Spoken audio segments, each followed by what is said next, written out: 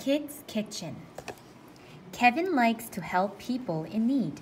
He is in a group called Kids Kitchen. Kids Kitchen cooks food for poor people. Kids Kitchen is open every Sunday. Today, Kids Kitchen serves hot meals to old people.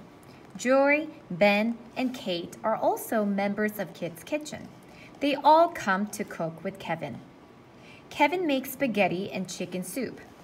Joy makes fresh salad and Kate bakes bread. Ben brings a cake for dessert. Joy sets the table in the dining room. Ben and Kate bring the food to the table. Kevin tells the guests when lunch is ready. This all looks very delicious, says an old man. This is very kind of you, says an old lady.